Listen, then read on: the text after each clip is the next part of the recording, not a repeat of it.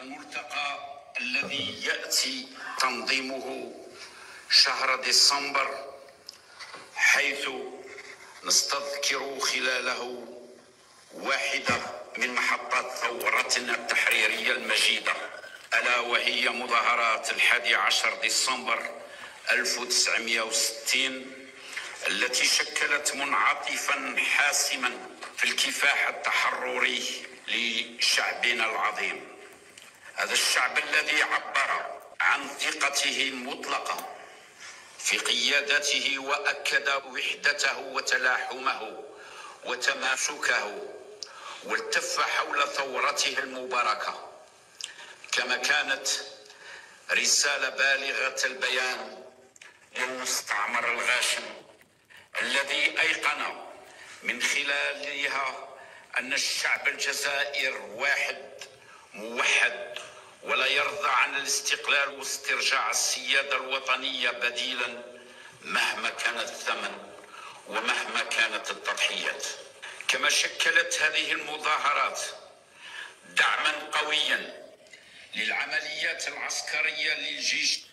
يتكلم عن المظاهرات تاع 11 ديسمبر 1960 وما لا شك فيها أنها كانت مظاهرات حاسمة وهي التي حسمت الانتصار السياسي والدبلوماسي.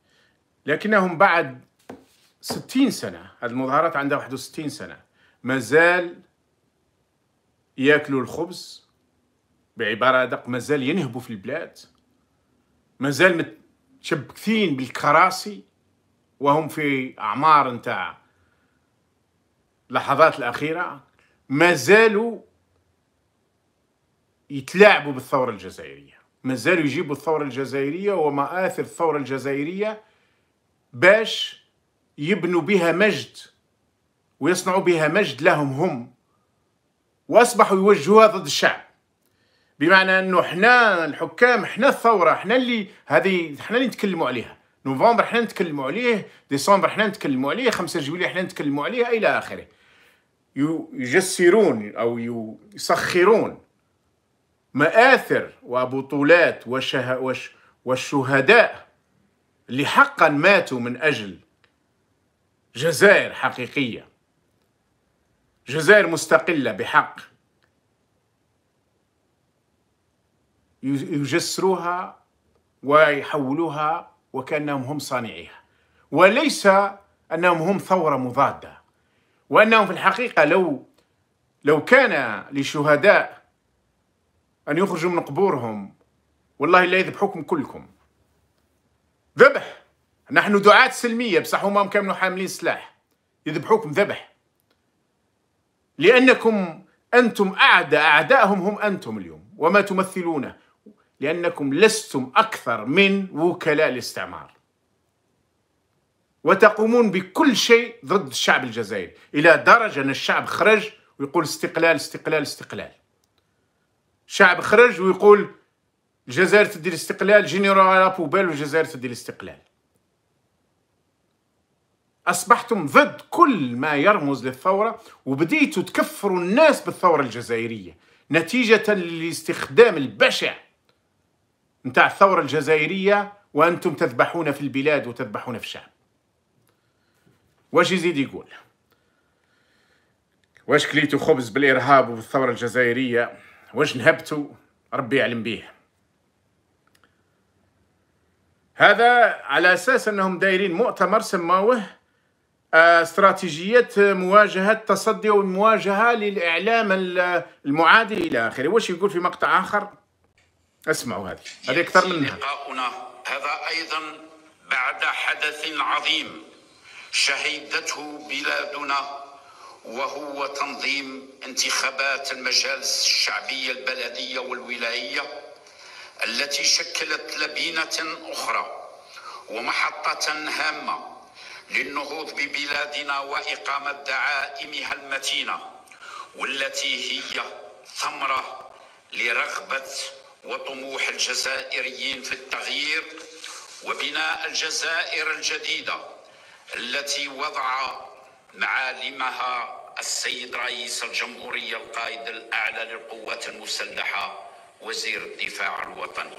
هذا المسار الذي بات يشكل مصدر إزعاج لأعداء الوطن الذين يحيكون ضد بلادنا كل أنواع الدسائس والمؤامرات بالتواطؤ مع منظمات إرهابية وتنظيمية عميلة غايتها إجهاض المشروع الوطني الرامي لارساء مؤسسات قوية وفاعلة وعرقلت مسيرة الجزائر الجديدة المصممة على استعادة دورها الرياضي اقليميا ود...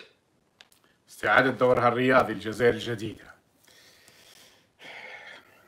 جاب مجموعة من المغالطات. أول حاجة أن الآخرين الأعداء والمنظمات الإرهابية وحنا واللي خارج رانا راهو لماذا هذا الانزعاج والتهجم عليهم كما راهم يعتبروها؟ قال لك نتيجة للانتخابات المحلية. الانتخابات المحلية اللي فازوا بها ما يمنوش بها. اللي مدوا الشكاير وجابوها عارفين بلي جابوها بالشكاير. الأغلبية العظمى نتاع لي هادو اللي راكم تقولوا تاع الجزائر الجديدة اليوم بالشكارة. واللي ما مدش شكارة في الأول مدها في الآخر. لما يبقاو حزب الارندي عنده خمسة والآخر عنده ثلاثة الأفلين ربعة والحمز زوج يتضاربوا بيناتهم ما كاش تبدا الشكارة هي اللي تمشي باش تخرج الماء وهناك اليوم مئات البلديات ما زال ما فصلوهاش بالشكارة ولا بدون شكارة. مئات. المجالس الولائيه نفس الشيء. والضرب اللي صرا وشفنا في كثير حتى الآن لما ما يوصلوش إلى حل وزعما يجي يديروا انتخاب كيفاش يمر المير تصرى الدبزة. هذه هي اللي آه، الناس راهم يحسدوكم عليها. هذه هي الانتخابات اللي الناس يحسدوكم عليها. اللي ما وصلش عدد الم... عدد المشاركات أقل من الربع الشعب الجزائري. هذه نحن نعرف أنها أقل بكثير من ذلك. والله الناس يحسدوكم على الانتخابات اللي أنتم في النهاية اعترفتم باللي اللي انتخبوا ما 5.20% 5% انتخابات تشريعية باعترافكم أنتم.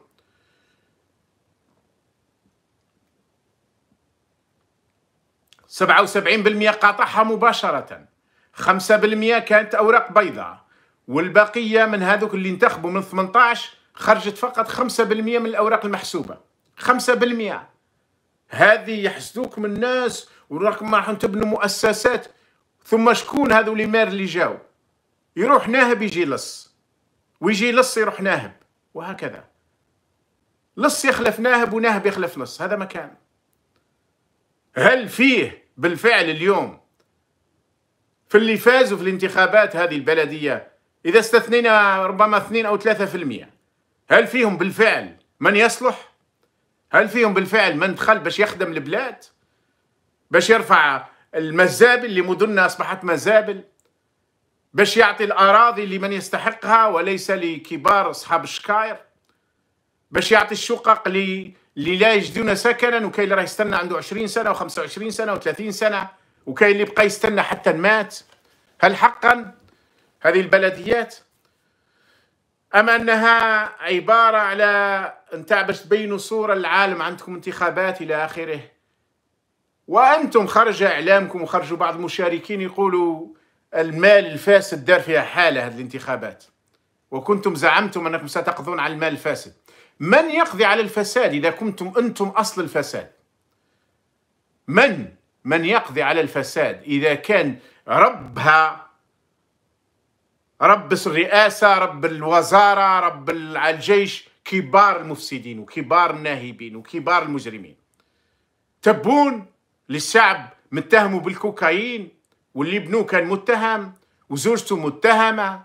هذا هو رئيس الدولة ورئيس الجمهورية. قائد العام للجيش ومنش عارف و و. هذا هو رؤساء البلديات ورؤساء المجالس الولائية. المخير فيهم لما يشوفوا واحد مليح يطيروا الوالي. لما يشوفوا واحد خدام يحفروا تحته حتى يجيبوه برا. لأن البلاد تحملت ولات مافيا كلها في كل مكان. الناس راهي عايشة هذه المرارات. الناس راهي عايشة وشايفة باللي ما عندهاش الماء اللي البلديات مسؤولة عليه. الناس راهي عايفة وشايفة المزابل اللي تحولت لها المدن والقرى. وشايفة أطفالهم وين يدرسون والشوارع اللي يمروا عليها والمدارس اللي ما فيهاش مدفأة في الشتاء وما فيهاش كليماتيزر في الصيف ومرات الطاقة الريح الطاقة إلى آخره. الناس راهي شايفة. الناس راهي عايشة هذه الأشياء.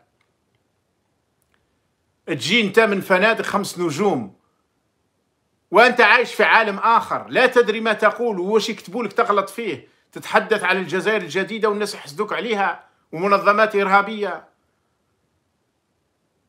كنتم تريدون أو تعتقدون أننا نحن نغضب ونيأس وندعو الناس للعنف. العنف بالنسبة إليكم هو مثل الجيفة بالنسبة للدود.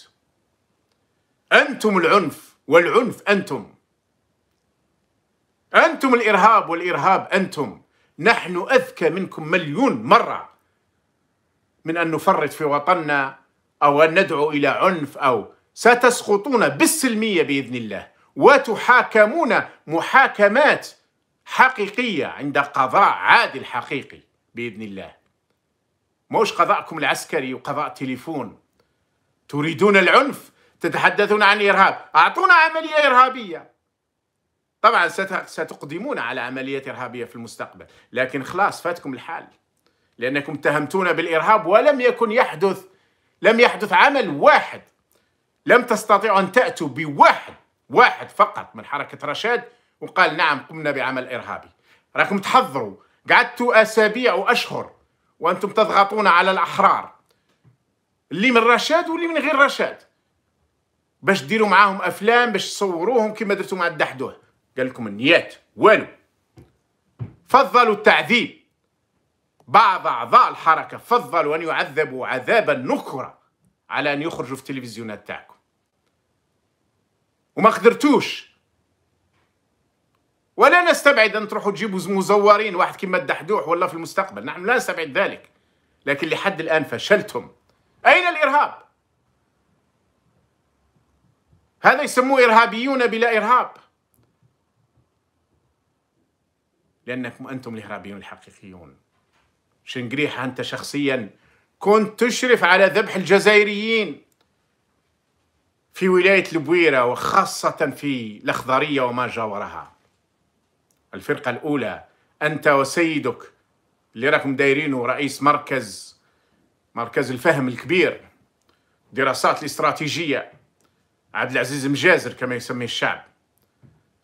الجنرال سيدك هذا كان يأمرك أنت وهو وكنتم تذبحون الناس.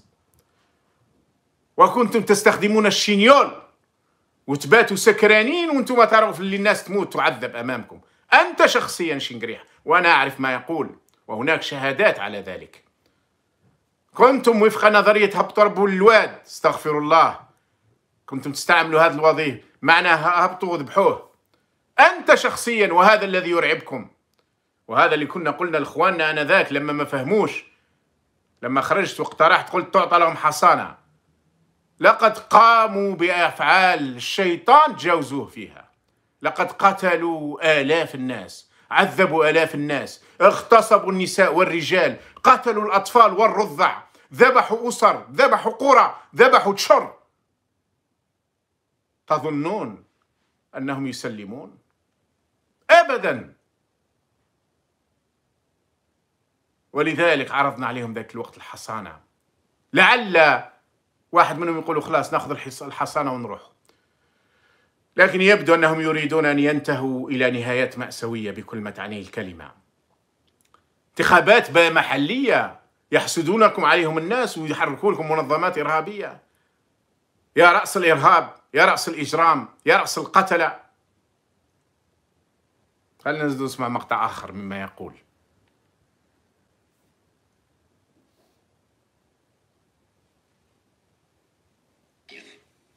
السيد الفريق شدد على ضرورة تجند كافة القضية ورص جبهتنا الداخلية إلى جانب ديناميكية التطوير والتنمية التي بشرتها الجزائر الجديدة وبلوغ الأهداف المسطرة. يستدعي تجنب كل قطاعات الدولة دون استثناء وفي مقدماتها قطاع الإعلام الذي يعول عليه كثيرا في هذه المرحلة للتصدي ومواجهة كل الحملات الإعلامية والمخططات المعادية التي تحاول المساس بأمن واستقرار البلاد وكذا تنوير الرأي العام الوطني.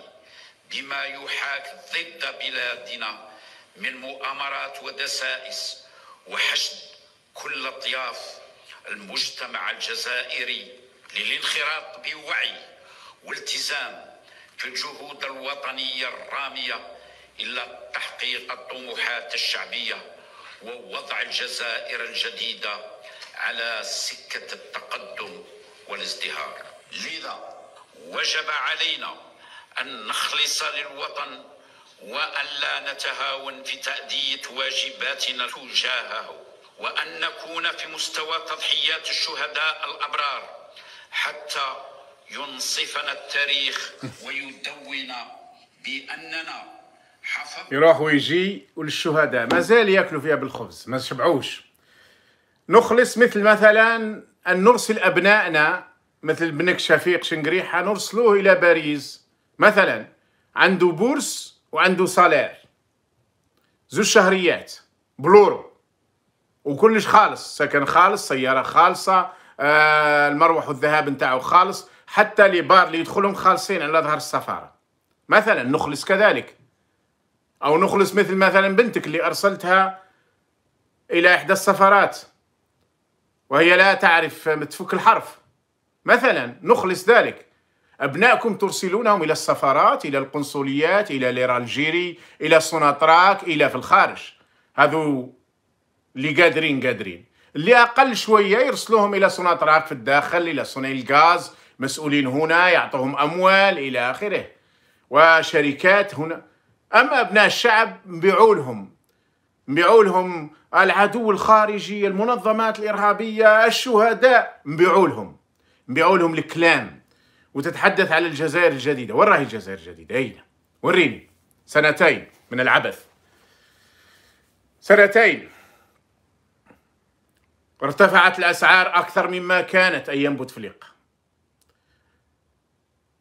اختفت المواد أكثر مما كانت في بوتفليقة من الحليب إلى الزيت إلى الحليب ولا أسوأ مما كان. كان اختفى من أيام بوتفليقة لكن أصبح أسوأ. الزيت زاد الحق. اختفت الأموال ما زالت لحد اليوم. قبل قليل فقط نشوف في فيديو نتاع ناس يدازوا على لابوست. دينار ما كانش في لابوست في كثير من لابوست. وشفنا أشهر هي الناس تتضارب على الدينار خاصة في الصيف في رمضان. أين هي الجزائر الجديدة؟ اللي ماتوا فيها المئات وربما الآلاف بدون أكسجين. اللي تحرقوا فيها المئات لأن ما فيش كنادير ما فيش من يطفئ النيران. وجزء من النيران أنتم آه، احرق أحرقتوا بها الناس. أين هي الجزائر الجديدة؟ أين هي المستشفيات؟ وراه المستشفى الصيني بالمناسبة. أين؟ أين هي الجزائر الجديدة؟ ما زال billet على Air Algérie بألف تقريبا ألف أورو للجزائري بينما يذهب المغربي والتونسي بما يعادل 100 150 أورو إلى بلاده. وتفرض l'Air Algérie 990 أورو تقريبا و l'Air France 1000 أورو على الجزائريين. أين هي الجزائر الجديدة؟ مش غلقتوا الجزائر على أهلها وفتحتوها للأجانب؟ مش كان جي يجي الهندي والصيني والتركي يدخل كما يشاء والجزائر اللي عنده passeport دبلوماسي يدخل كما يشاء والجزائر تقول له دير la quarantaine. في فنادق ما تسواش كاع أين هي الجزائر الجديدة؟ سقطت شوية أمطار مش غرقت المدن بما فيها العاصمة. مش ماتوا ناس تحت الأنقاض في وهران كما في العاصمة كما في أين هي الجزائر الجديدة؟ أين هي؟ أين هي السيارات تاع أقل من ثلاث سنين؟ أين هي فرنسا تسخن على الحطب؟ شكون اللي تسخن على الحطب؟ كثير من الجزائر تسخنوا على الحطب بالمناسبة أين هي الجزائر الجديدة؟ أين هي الجزائر الجديدة عندما تكون أنت 77 سنة؟ قائد للجيش. 77 سنة قائد للجيش ترقد في الاجتماعات. أقسم لي من يحضر الاجتماعات اللي فيها شنقريحة أنه ينام ويشخر ويطلق أصوات وما كانش يقدر يمسه. الرعب.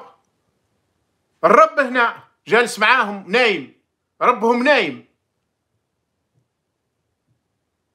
طبيعة الأشياء. شيخ عمره 77 سنة. طبيعة الأشياء فما بالك يكون عسكري؟ ويا بالك قضاها ما بين المخدرات وما بين الذبح وما بين السكرة وما بين وما بين كل المصايب. طبعا الجسم ينهد راهم عايشين غير بلي فورتيفيو. ثم أعطيني قائد جيش واحد في العالم من هذه الجيوش المحترمة. واحد! عمره أكثر من سبعين سنة موش سبعة وسبعين واحد! عمره أكثر من سبعين سنة. طلعتوا ناحية السلوم. وبالعكس ضربتوا جنرالات شباب كانوا في الخمسينات ضربتوهم ورميتوهم رتريت أو عقداء أو رواد أو 45 50 يروح. 75 زيدوا له الجراد بن علي بن علي كي كان عمره 86 سنة زاد روحوا جراد ولا فريق أول. الآن 88 سنة أو 89 سنة. أنت كي وصلت 76 سنة زدت grade وليت فريق. وطبعا خصوماتكم وصراعاتكم لا تنتهي. أكثر من 34 جنرال من أكبر جنرالات البلاد في السجون. لا يوجد هذا في أي مكان في العالم. أين هي الجزائر الجديدة؟ أين؟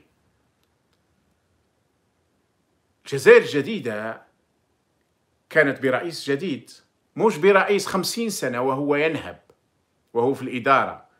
ينهب ويفسد ويلعب والإدارة الجزائرية تخرج خاصة اللي يبقوا فيها فترة طويلة. إلا من رحم ربك. تخرج أبشع الناس.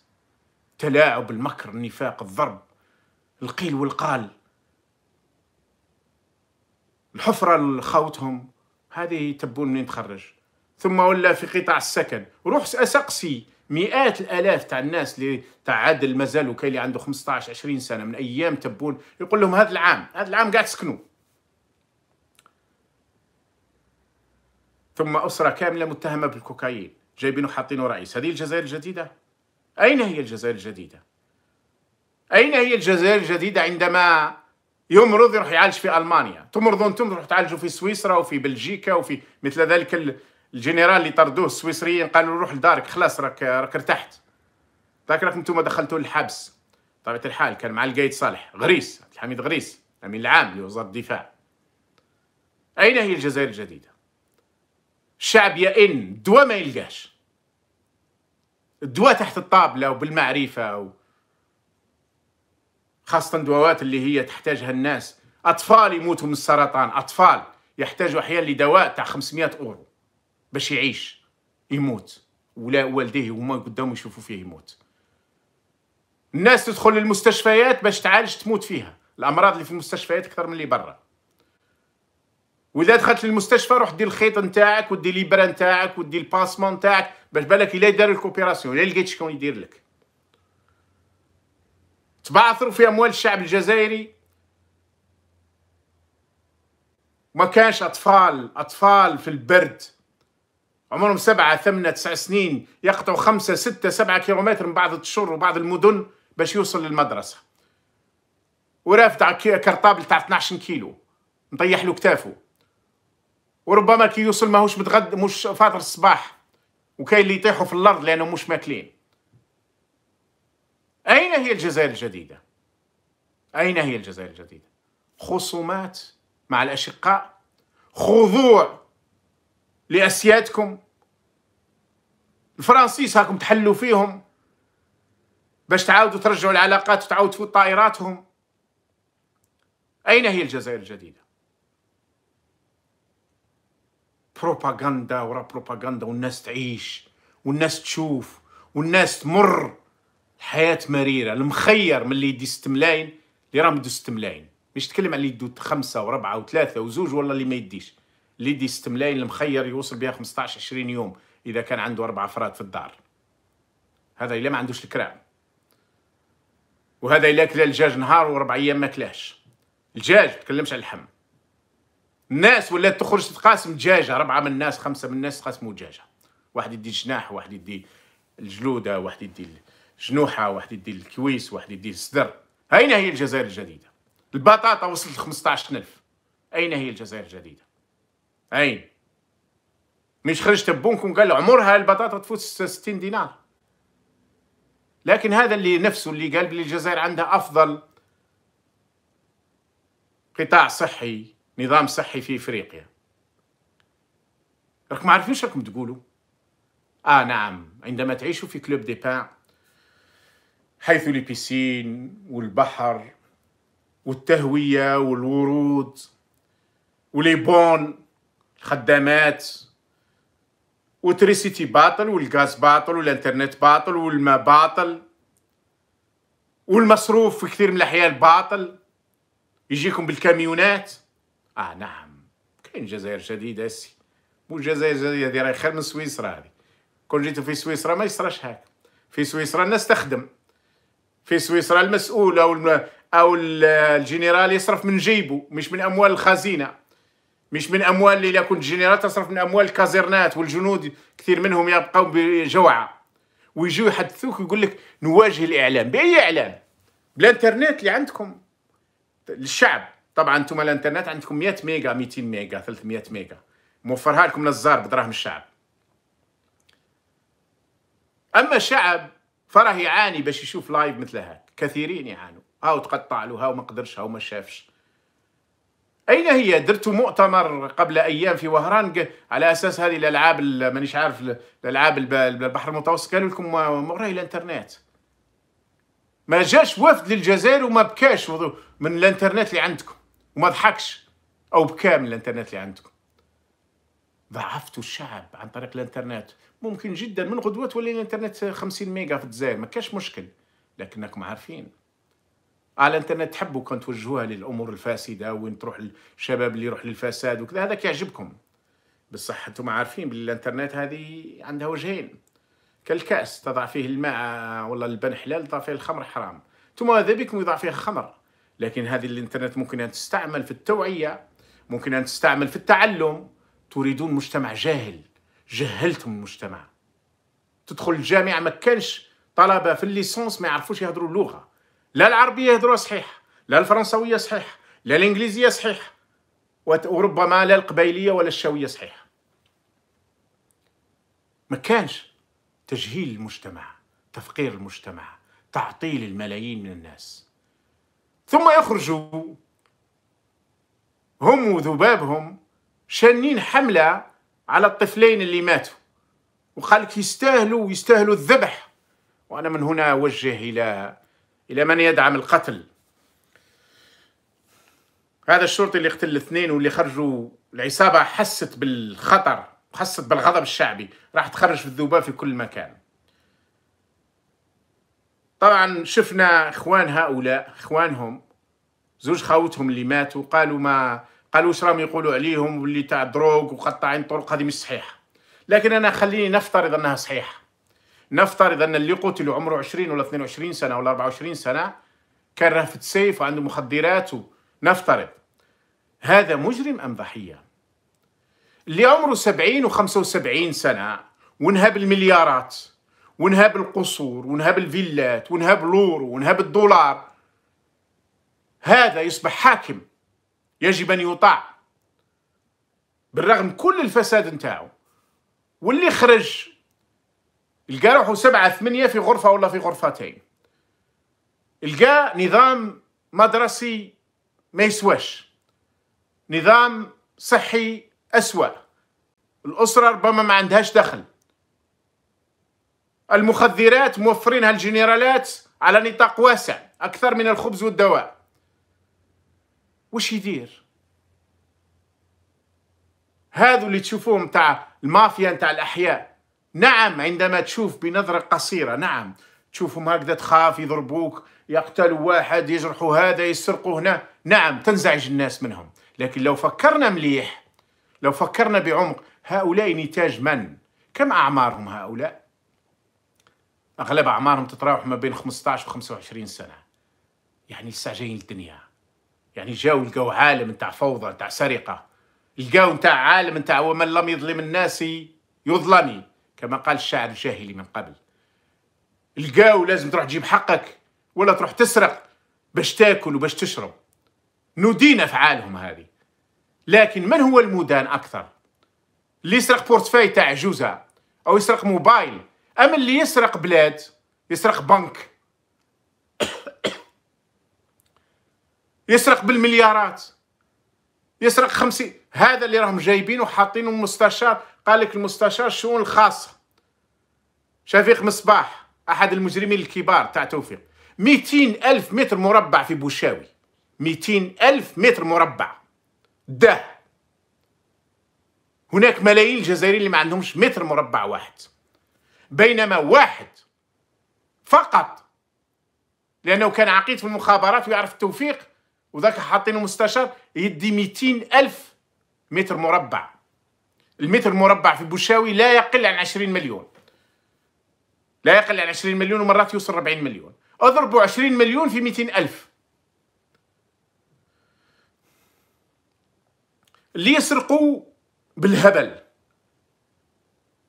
اللي يروحوا للبنوك يدوا قروض تاع 5 ملاير 50 مليار 200 مليار 1000 مليار وراكم شفتوها. هذا ما كاش مشكل. بالعكس يقدر يولي وزير. يقدر يولي يطلع جنرال رتبة أعلى. بينما ذلك الطفل الشاب اللي لقاه عالم نتاع فوضى عالم أسرة مكسرة ما هم باباه مش قادر يجيب لهم الخبز السكنة ضيقة تعليم طردوه. لقى روحه في ذلك العام وش يدير؟ ما يقوم به هؤلاء الشباب من جرائم وهي مدانة مسؤولية من يحكم أولا. مسؤولية المجتمع ككل ومسؤولية من يحكم خاصة. تصرف ملايير الدولارات على خردة السلاح كان ممكن أن تصرف على تكوين الشباب على إعطاء أعمال الشباب على بناء سكنات للناس. كان ممكن أن تصرف. تصرف ملايير الدولارات على الحوايج اللي تسوى واللي ما تسواش وتروح أكثرها إلى بنوك الإمارات وبنوك الأوفشور وبنوك سويسرا وبنوك وإسبانيا وغيرها. كان ممكن أن تخلق اقتصاد حقيقي. ويتكون فيه الأطفال اللي ما كملوش دراستهم. والأطفال اللي في الدراسة يدرسوا بحق لأن الدراسة اللي في الجزائر اليوم هي تجهيل. ثم تخرجوا وبوليسي يقتل زوج تفرحوا وتبروا للقتل يا مجرمين. لأنكم أذلاء تقفون مع القوي تحقروا الضعيف حقارين. تقفون لأن البوليسي من جهة الحكومة. من جهة العصابة. لعل العصابة ترضى عليكم وترمي لكم خبزة هنا والهيه يا مجرمين طبعا أنا هنا استثني الناس اللي ما كانوش فاهمين. اللي شاف برك الصورة الصغيرة. شباب صغار بالسيوفة والآخر وراهم دي مافيا في الطريق ولازم يهنونا منهم. يهنوك من المافيا الكبيرة تتهنى من المافيا الصغيرة. عندما يهنوك من المافيا الكبيرة الحراك خرج باش يهنيك من المافيا الكبيرة. المافيا الصغيرة تختفي لأن من بعد تتوفر الحقوق يتوفر العدل يكون القاضي العادل والصحفي المستقل والمجتمع المدني والأستاذ اللي يأخذ حقه فيعطي حق حقوق الأطفال. المدرسة المنظمة المرتبة المسؤول اللي يستاهل المسؤولية الوالي اللي يعرف يدير الولاية. الطبيب اللي هو طبيب وليس سماسري الارشيتكت اللي يخدم بضمير وليس بالرشوة عندها تحل. إذا ما حليتش القضية الكبرى فإن المصايب تعم وتزداد وتكبر وتتكاثر. الشباب الصغير اللي راه ضايع هذو اللي يسموهم عصابات الأحياء هم ضحايا. يرتكبون جرائم ولكنهم ضحايا قبل كل شيء. وهم مئات الآلاف. واش يجب أن يقتلوا جميعا؟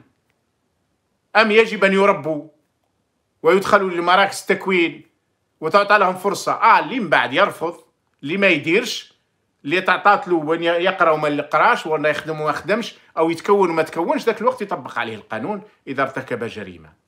تتركون كبار المجرمين بل تصفقون لهم. كثيرين منكم صفقوا لشنقريحه ويصفقوا لكبار جنرالات ذبحوا بأيديهم. كثيرين منكم ينفخ في تبون. اللي الشعب عليه قال تبون مزور جابوه العسكر. وأنتم عارفين إنه لص وسارق وناهب ومتورط في المخدرات. لكن البسطاء تزيدوا تكملوا عليهم. هذه نفسية الأذلاء المذلولين الحقراء الحقارين. مش مسؤولية الرجال والنساء اللي عندهم أخلاق. اللي عنده أخلاق يقف مع المظلوم ضد الظالم. اللي عنده مبادئ يقف مع المستضعف ضد المستكبر. اللي عنده رجلة وشهامة يقف مع المنهوبين ضد الناهبين والمفقرين ضد الأثرياء الذين نهبوا. اللي عنده مبادئ وأخلاق ما هوش مع الواقف. مع الطايح باش يرفدوا وما يخليش يطيح. اللي عنده مبادئ وأخلاق وإذا كان يامن بالله خاصة ما يقفش مع الظالم لأن الله يقول ألا لعنة الله على الظالمين ما يقفش مع المفسد لأن الله يقول ألا لعنة الله على المفسدين إنما يقف مع المستضعفين والمفقرين والمعطلين. والمجهلين والمنهوبين. يا من له ضمير. سينتصر الشعب بإذن الله. والنصر قادم إنما يستحق جهد وعمل وتعاون وتفكير حتى نسترجع هذه البلاد وإلا لا قدر الله قد تضيع